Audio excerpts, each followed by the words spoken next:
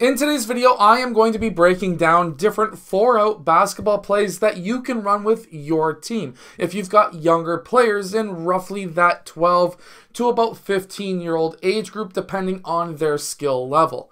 Now let's get down, let's check these out. But really quickly, make sure to go check out my complete guide to the five out offense that is down in the description below, and also my unbeatable basketball zone defense book that is able to trap the corners, double the low post, and don't leave any man open. So definitely go check those out. Now let's get down and let's check out this four out basketball play or set of basketball plays that can really help your team win.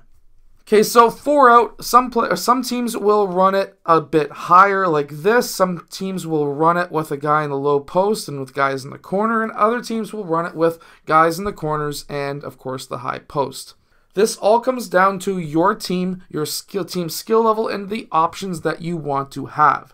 So, a great option that you can run is for player one to dribble across the court and then have a dribble handoff with player two. Once player one does that dribble handoff, he is going to roll towards the basket. Player five is going to pop up and set that screen for player two. The idea here is for now player one to roll to the basket, player two is going to use 5 as the screen. Now, player 2 could take that shot. That's the first option. Second option is for player 1 to be open for the layup. Player 2 could also drive to the rim as well. And if he draws a help defender, he could drop it off to player 1 for that layup. But this is the initial action. If none of these options are open, we're going to have player 3 lift, player 1 pop out, and then player 5 is going to go back into that high post. When this happens, we can go on to the next 4 out play or we can do that dribble handoff once again. However, personally, I would go into a secondary 4 out play, which is the next play that I'm about to show you. We can go into a dribble handoff with player 4. Player 4 is going to use that dribble handoff. Player 5 is going to come up and set that screen. So now player 4 has that ball. Player 2 is going to roll to the basket. Player 4 is going to continue off of that staggered screen. And now we can hit player 2 with that layup. We can hit our three point shot or mid range shot. And if none of these options are open, player 4 could also attack the rim as well. He could attack that high post. He could then draw help defenders, which can then allow him to pass to player two. He could kick out here. There's so many different options that teams can have, but our main offense, if it breaks down, is now going to have player 4 back out. Player 2 then fills that corner. Player 5 goes back into that high post. Now you can run that same play once again, or you can run another 4 out play if you are running the 4 out offense. You could always just pop out and go to the 5 out. There's always options like that. But the next, the third play that I'm about to show you is another fantastic one. This one can work really well against zones as well. So we're going to have player 4 pass to player 5, and then we are going to have player 4 and player 3 attack or cut, I mean, to the basket. At this time, player 5 could pass to either player 3 or 4, and we're going to have player 2 and 1 lift. When they lift,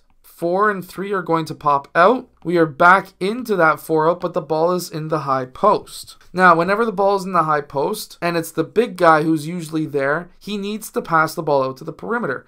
He has multiple different options. He can pass to one, he can pass to three, he can pass to four or two. It doesn't matter. With my younger teams, I like to run it where player five kicks the ball out and sets the screen for the ball handler this would be just a simple screen and roll and the play would be over and we can go to five out. Or what you could also do is if player five passed to player two, player five could set a screen away for player one.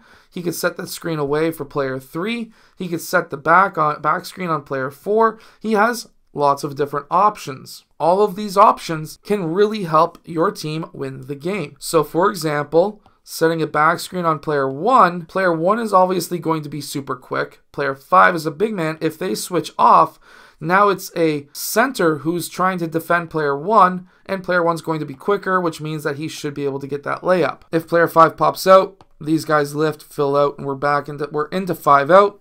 I always like to finish each play that I run myself with a screen and then or if it's a set play it's not an option not not a motion, set play, finish it, go to five out and run a five out motion. That's what I like to personally do. Now you could run it in the low post and there's different options for this as well. So for example, what I like to do here and one of the, my most favorite player plays is to have player 4. He is going to set that screen for player 1 and player 1 is going to come off of that screen. Player 4 is going to then roll to the high post He's going to do a quick cut to that high post. We want to try and hit him into that high post. When this happens, this usually lifts that player five's defender up, which means that we get a high to low post pass. This works ridiculously well against a zone. This actually works so well that I had a team using this play solely for a whole half of the game and scored like continuously nonstop. So basically what happens is the defense will be shifted and you'll have player 4 come up and set that screen. Player 1 attacks player 4, player 4 rolls off. Now these guys are inherently trying to trap that ball. We quickly pass to player 4. If that draws player 5 up, we do a high to low post pass. If it covers has player 2 cover, we kick the ball out. He has to try and shadow this ball until player 2 gets back. If we can quickly pass down to player 2, have player 5 switch sides, this could be a quick pass to player 2 for a 3 or a pass into player 5 while the defense was shifting. If player 4 clears out, player 1 fills up top, and these guys are shifting over, then there has to be either a layup here, potentially a kick out pass here, which would then draw player 1, and then we could even go into by drawing that defense and shifting it, they probably lost. After player 5 kicks the ball out, he could go to the high post and run the last play that I just showed you. These guys are all going to be collapsing on the ball. Nobody wants the ball in the paint. And if player 3 cuts back door, player 1 cuts here, this could be a quick pass to player 3. This would be through this hole right there and then that could be a layup. Or if player 3 red collapses, kick out 3. There are so many different options in this play. I hope that you have enjoyed. Hit that like button, subscribe. Go check out the links up in the corners or down in the corners, wherever I put it. My camera died, so you don't see my face. And I'll see you guys again in my next video.